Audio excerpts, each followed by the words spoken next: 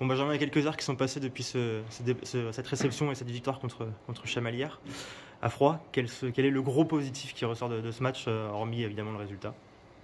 Le positif, c'est qu'on a marqué deux buts, on n'a pas pris, on a été tous euh, solidaires, on a fait tous les efforts ensemble, donc euh, que des choses positives.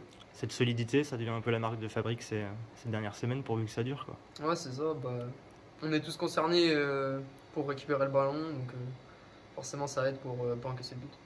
La série commence à devenir euh, longue, ce sera le septième de ce bloc euh, ce week-end.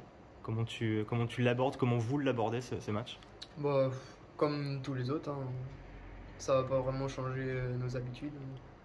On sait que peut-être que euh, ça va être plus au mental vu qu'il y aura un peu moins de jus dans les jambes, mais on est tous prêts pour, pour ça. Le fait d'avoir une série positive, ça aide à avoir plus de jus?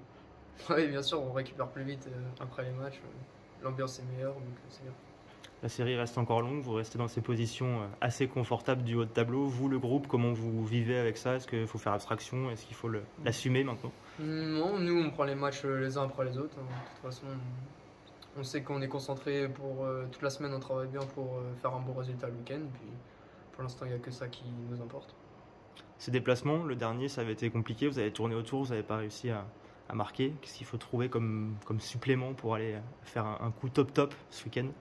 Bah, Montpellier, peut-être qu'il nous avait manqué un petit peu de, de réalisme. Donc si on a ça et qu'on arrive à marquer un but euh, et qu'on reste toujours costaud, normalement ça devrait bien aller.